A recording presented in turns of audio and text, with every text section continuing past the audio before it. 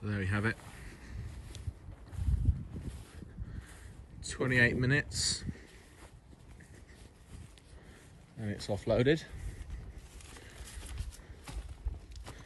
Like I was saying, um, that load was about 28 tons um, and the crane lorries you've seen before that come in get about 24 on uh, because you've got the weight of the crane and the trailers are slightly shorter because they've got the crane bolted to the front of them.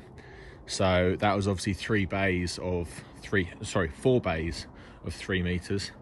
And um, the other ones normally have three bays of three meters. Granted they go a little bit higher but they just can't get the weight on because they've got that that crane sitting on the front of them. So um, yeah that's like a fairly decent load few big bits that just have to be put up the track but like I said I have got something in the pipeline for eating all this up so I'm not that fussed. If anything it's like money in the bank. Timber's only gonna get more expensive and um, I've got it in stock and it's only getting drier too. So that's the way I look at it. But 90% of this I can process with my with my current processor. Um, so yeah that was just a little insight to the new machine the new kit we got on Oak Farm. Really am impressed with it. As you can see I was taking full grab falls from the other side of the trailer there and it you know doesn't flinch really.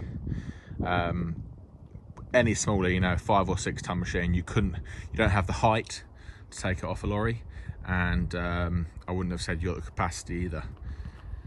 13 tonner yeah it'd be lovely but moving around the yard and um, going going off site and doing other jobs with this machine it's quite a lot easier to move an 8 tonner over a 13 tonner so that you know it's just a perfect machine for me really. So that's going to be it for this video. Don't forget we've got another kiln to be built before winter.